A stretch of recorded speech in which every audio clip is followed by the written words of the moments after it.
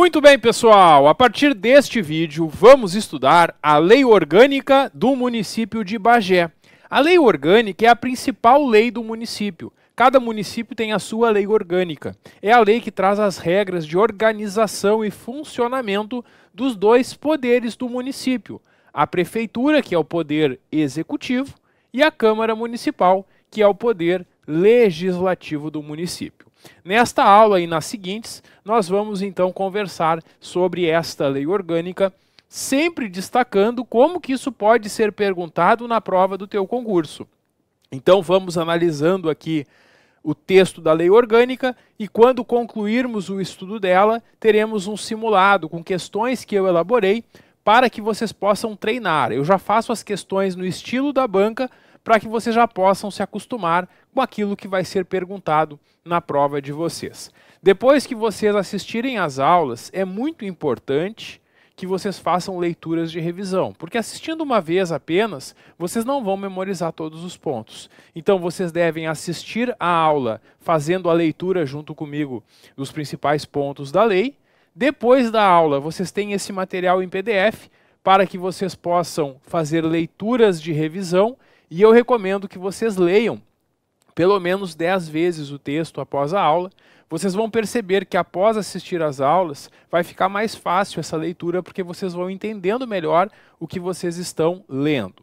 Depois de terem assistido às aulas e feito as leituras de revisão, tentem resolver as questões que eu preparei para vocês.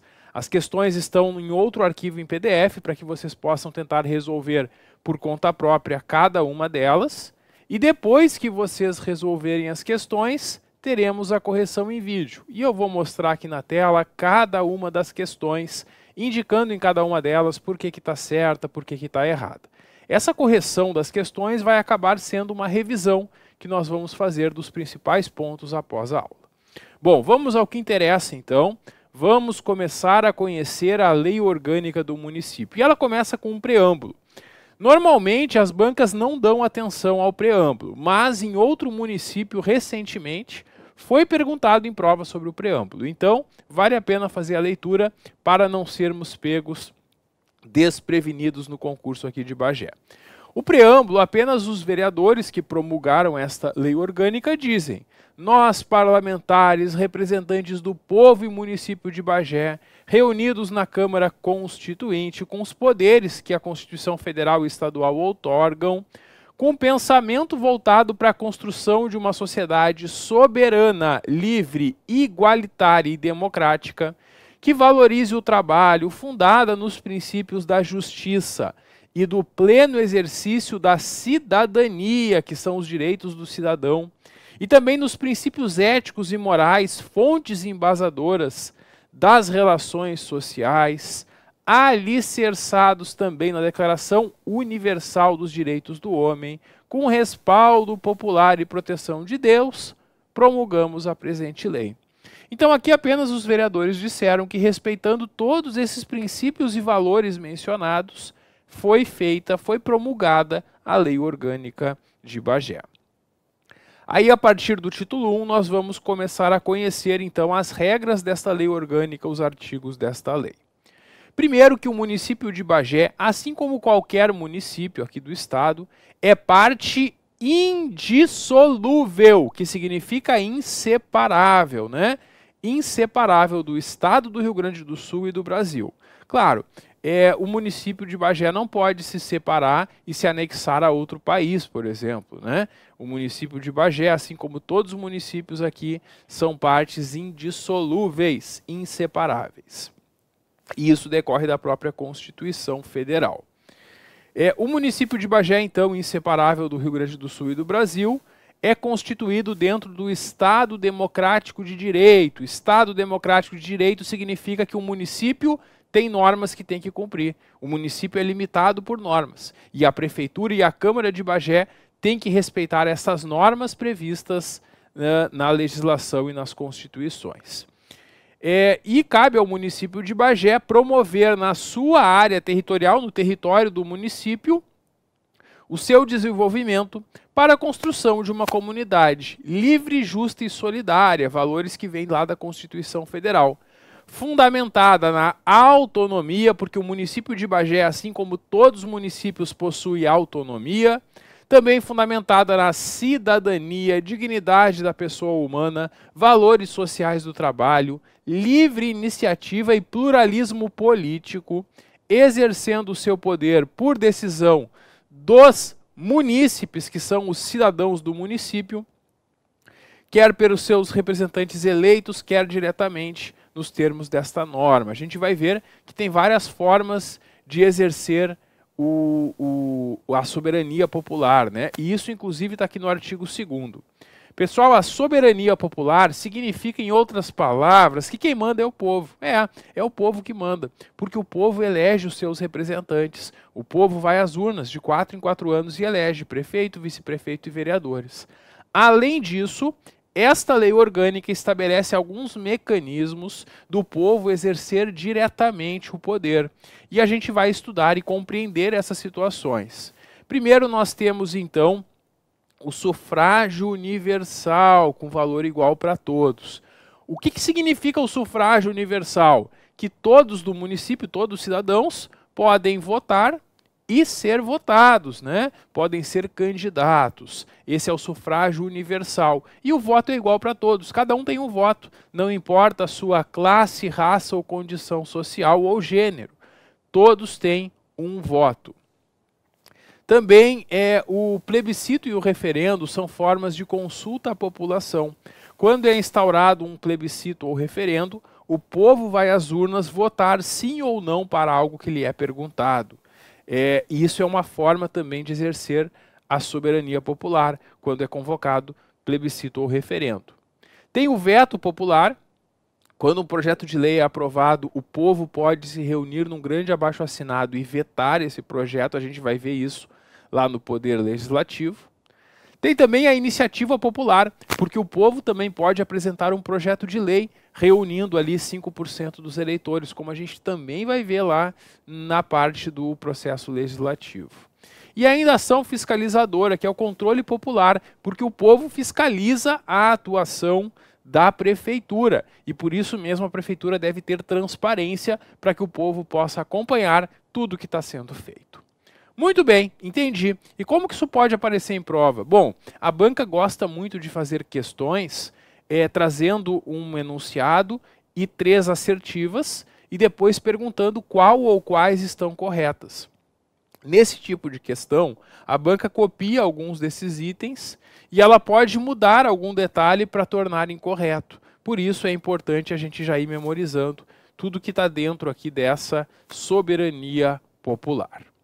O artigo 3 nos traz que a ação do poder municipal desenvolve-se em todo o seu território, tendo por objetivo reduzir as desigualdades, promover o bem de todos, sem nenhuma forma de preconceito, sem discriminação por origem, raça, sexo, cor, idade, ideologia ou sectarismo religioso. A autonomia do município é assegurada pela eleição e posse do prefeito e vice-prefeito que compõem o executivo e vereadores que compõem a Câmara. Símbolos do município de Bagé são a bandeira, o brasão e o hino. E são símbolos naturais do município. Pessoal, muita, muita chance disso ser perguntado em prova. A banca adora perguntar esses símbolos do município quando eles estão previstos na lei orgânica. Nem todo município traz símbolos na lei orgânica. O município de Bagé traz. Além da bandeira, brasão e hino, tem os símbolos naturais do município, que são a flor de corticeira, a árvore coronilha e a ave tajá ou chajá. Isso é muito importante vocês memorizarem. A banca pode perguntar quais são esses símbolos e a banca pode colocar alguns deles e inventar outros. Então, muito importante memorizar os três símbolos naturais aqui do município de Bagé. Vamos avançando agora para o título 2 da Lei Orgânica, que vai tratar sobre a organização político-administrativa do município. O município de Bagé, como a gente sabe, faz parte do Rio Grande do Sul e é uma pessoa jurídica de direito público interno, assim como todos os municípios. Aqui a banca pode fazer uma pegadinha para tentar te confundir, afirmando que, a, que o município é uma pessoa jurídica de direito privado ou ainda de direito público externo. E aí também está errado, né? Não esquece que o município é de direito público interno. Se aparecer na prova privado ou externo, está errado. E o município, claro, tem autonomia política, administrativa e financeira. É, a cidade de Bagé é a sede do município e o município também tem distritos que são criados ou alterados por lei complementar.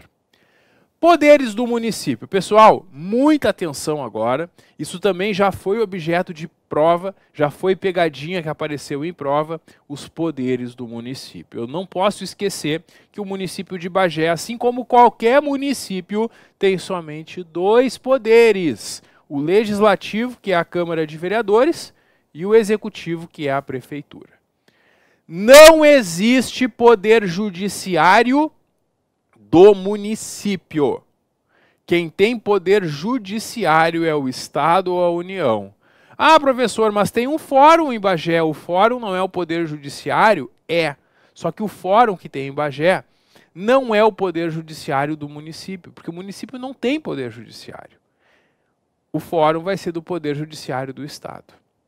Então, quando eu estudo a lei orgânica do município, eu só vou encontrar os dois poderes do município que existem, o legislativo e o executivo. Eu não vou encontrar poder judiciário, porque não existe poder judiciário do município. Quando tu pega a Constituição Federal para estudar, lá sim na Constituição Federal, tu vai encontrar os três poderes, porque a Constituição Federal apresenta os poderes do Estado e da União, e aí de fato são três. Então, numa questão sobre poderes do Estado ou União sobre a Constituição Federal, lá tu vai marcar que são três poderes. Numa questão sobre a lei orgânica do município, tu vai marcar somente os dois poderes do município, que são o legislativo e o executivo, conforme a gente vai estudar ao longo da aula. E o parágrafo único nos traz que, salvo exceções previstas nessa lei orgânica, é vedado, é proibido qualquer dos poderes delegar atribuições. A gente vai ver aqui ao longo da aula o que, que cabe à prefeitura e o que, que cabe à Câmara. E a prefeitura não pode passar as suas funções para a Câmara, nem a Câmara passar as suas funções para a prefeitura. Além disso, quem for investido na função de um deles não pode exercer do outro. Tem pequenas exceções ao longo da lei orgânica, mas a regra é essa. Um poder não pode passar as suas funções para o outro, e o membro de um poder não pode estar em outro, quer dizer, não é possível ser ao mesmo tempo vice-prefeito e vereador. Ou atua no executivo ou atua no legislativo. O artigo 11 trata sobre a criação, incorporação, fusão e desmembramento do município. É que o território do município pode ser alterado. Um distrito do município, por exemplo, pode se separar e formar um, um novo município. Ou municípios vizinhos podem ser extintos e se anexar ao território, isso pode acontecer. Isso, isso trata-se né, da criação, incorporação, fusão e desmembramento de territórios. Isso só pode ser feito por lei estadual dentro do período que a lei complementar federal determinar. E essas alterações do território dependem de um plebiscito. A população envolvida tem que ir às urnas e manifestar se concorda ou não com essa mudança no seu território. O artigo 12 traz alguns princípios da administração do município. Diz o artigo 12 que o município vai ser administrado com transparência dos seus atos e ações. A prefeitura vai publicar tudo o que está fazendo, vai colocar no portal de transparência para qualquer um poder ter acesso, com moralidade, com participação popular nas decisões e com descentralização administrativa. Aqui também tem uma boa chance da banca perguntar sobre essas formas de administração do município.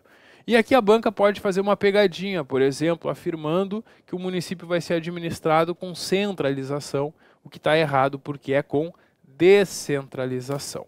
Então é isso, esses são valores, princípios que o município deve observar na sua gestão, na sua administração. O próximo título trata da competência do município. Competência do município são aquelas coisas que cabem ao município fazer, são as atribuições do município. Quando a gente estuda as competências, a gente vai encontrar no artigo 13 uma grande lista de competências privativas do município. As competências privativas do município são aquilo, são aquelas que cabem somente ao município. Então, o município de Bagé é responsável em fazer tudo que está listado aqui no artigo 13. São várias atuações do município. E vocês podem perceber aí que é bem extenso esse artigo que tem 32 incisos. Depois que a gente conclui a leitura desses incisos, a gente vai encontrar no artigo 14 uma outra lista de competências que também são do município. A diferença é que essas competências do artigo 14 são competências concorrentes, ou seja, são coisas que cabem ao município junto com a União e com o Estado ou outras entidades.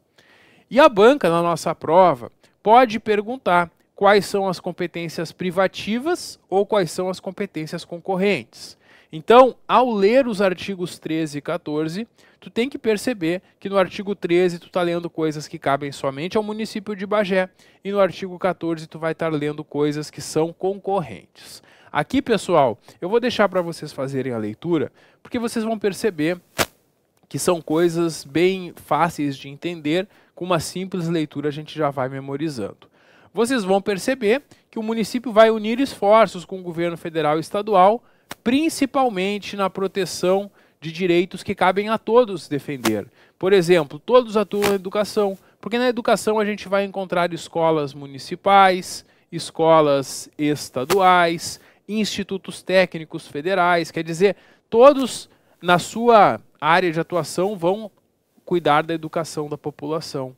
Também todos vão atuar para a cultura, assistência social, moradia popular, proteção dos direitos do consumidor, saneamento básico, é, saúde, né, proteção de bens de valor histórico, artístico e cultural, proteção ambiental, são atuações que todos vão ter que estão aqui no artigo 14.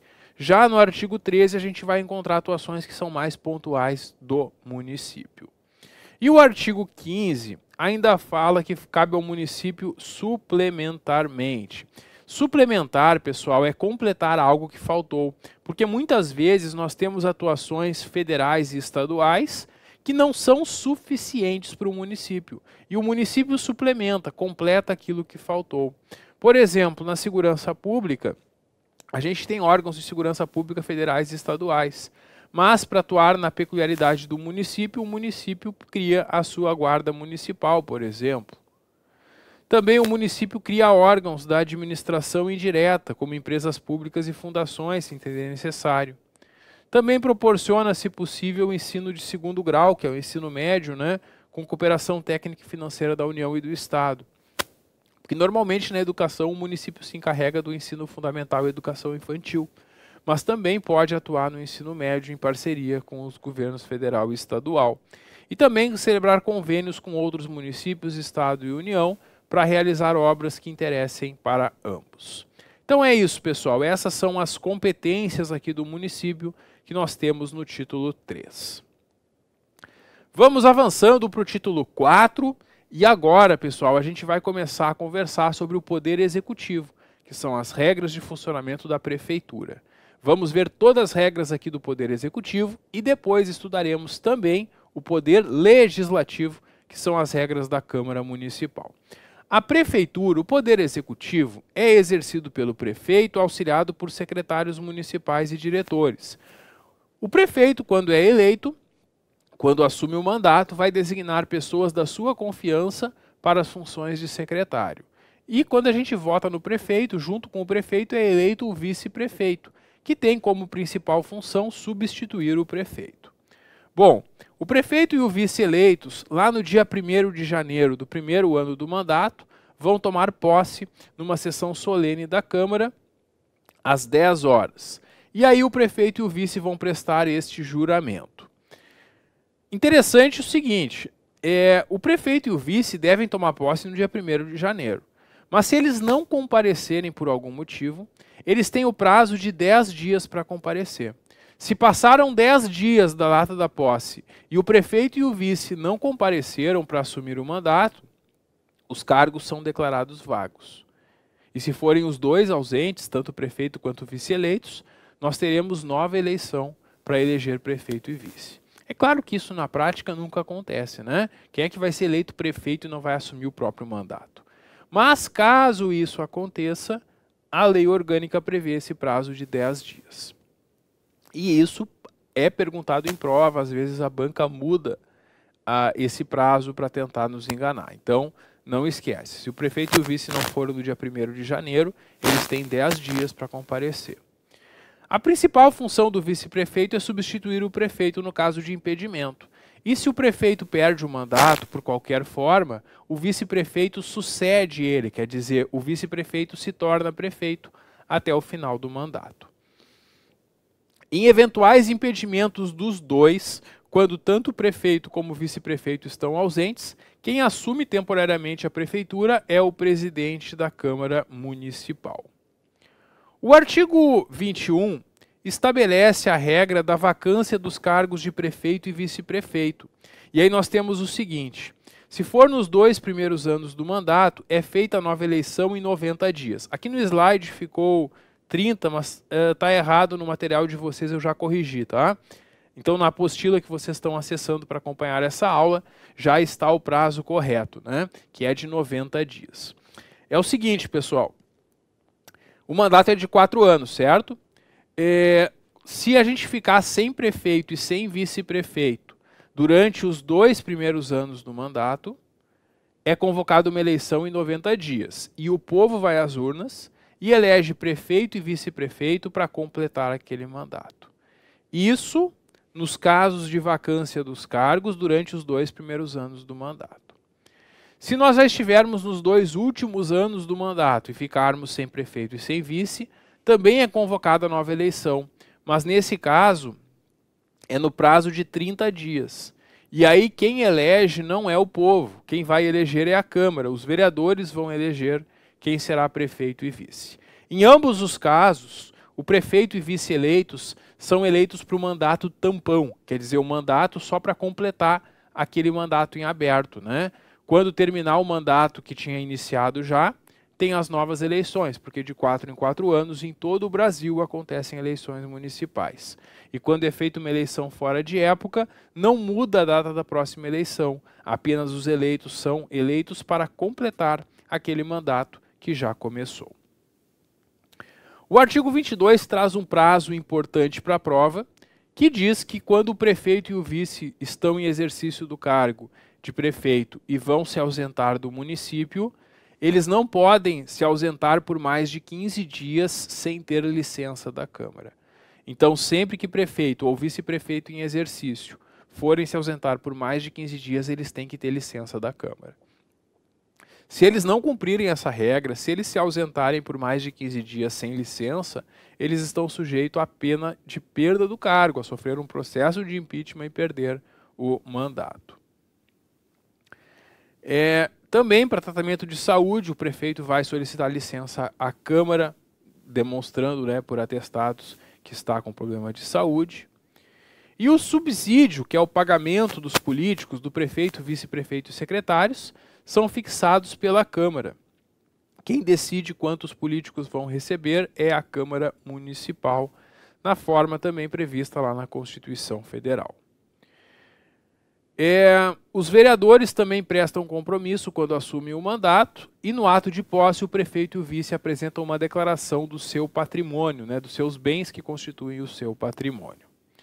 O prefeito, desde a posse, e o vice-prefeito, quando assume a função de prefeito, estão sujeitos aos impedimentos, proibições e responsabilidades previstas na Constituição e na lei. E o prefeito não pode favorecer direto ou indiretamente com incentivos de qualquer espécie, uma organização partidária em detrimento das outras. Não pode dar privilégios para um partido em prejuízo de outros, deve tratar todos da mesma forma. Quanto a atribuições do prefeito, o artigo 27 traz uma lista de atribuições, a banca já perguntou em prova, e aqui é importante vocês também lerem e memorizarem. Cabe ao prefeito nomear e exonerar os secretários, que são pessoas da sua confiança que vão comandar as secretarias. Então, o prefeito nomeia secretário de saúde, secretário de educação, secretário de obras e assim por diante. Cabe ao prefeito iniciar o processo legislativo. A gente vai estudar hoje o processo legislativo e nós vamos ver que o prefeito apresenta propostas de emenda à lei orgânica, projetos de lei, quando um projeto de lei é aprovado, ele é encaminhado para o prefeito, que pode sancionar ou vetar. Quando o prefeito concorda, ele sanciona, quando ele não concorda, ele veta. O prefeito vai dispor sobre o funcionamento da prefeitura, da administração pública, vai prover os cargos públicos nomeando os servidores, apresentar todo ano à Câmara relatórios sobre como estão obras e serviços do município, enviar as normas orçamentárias nos prazos desta lei, a gente vai ver mais no final da lei quais são esses prazos. Prestar no prazo de 10 dias informações que as comissões parlamentares de inquérito solicitarem, que são as CPIs. É, e também é, as informações que o Poder Legislativo solicitar é, e no prazo de 30 dias as protocoladas por cidadãos. Também representar o município em juízo e fora de juízo, contrair empréstimos, decretar a desapropriação de bens imóveis por necessidade, utilidade pública ou interesse social, administrar bens e rendas do município. E aí segue uma série de atuações aqui uh, do prefeito. Eu destaco ainda para vocês que todo ano ele deve prestar contas dentro de 90 dias da abertura da sessão. É, ele presta as contas do que, que foi gasto e arrecadado no ano anterior. Então, todo ano tem uma prestação de contas que o prefeito encaminha dentro de 90 dias após o início da sessão legislativa. Além disso, todo ano, até o dia 30 de novembro, ele vai instituir, vai enviar para a Câmara os projetos que tratem dos tributos do município, que são impostos, taxas e contribuições. Temos também o vice-prefeito, que tem como principal função, como eu já falei, substituir o prefeito e sucedê-lo em caso de vaga. O vice-prefeito também pode auxiliar na administração municipal. O prefeito pode dar algumas incumbências para o vice-prefeito. E os secretários municipais são pessoas escolhidas livremente pelo prefeito, e é importante saber que a lei orgânica traz uma idade mínima para ser secretário municipal, que é de 21 anos e a banca pode perguntar isso em prova. Inclusive, em outros municípios que a banca aplicou provas, ela já perguntou. E aí, para tentar te confundir, ela muda a idade mínima, por exemplo, trocando por 18 anos, o que estaria errado, porque a idade mínima para ser secretário, de acordo aqui com a lei orgânica, é de 21 anos. E aí, cada um dos secretários na sua área de atuação deve exercer as atribuições do artigo 31, Cada secretário vai assinar com o prefeito os atos da sua secretaria, exercer orientação, coordenação e supervisão dos órgãos e entidades, expedir instruções para execução das leis, apresentar anualmente ao prefeito relatório a respeito da situação global da sua secretaria, comparecer à Câmara sempre que convocado, praticar atos pertinentes a atribuições que forem delegadas e representar o prefeito também em atos públicos quando o prefeito designar. Todos os órgãos da prefeitura vão estar vinculados a uma secretaria e a chefia do gabinete do prefeito e a procuradoria-geral do município são órgãos que têm um caráter de secretaria municipal. Então é isso, completamos já a análise do poder executivo.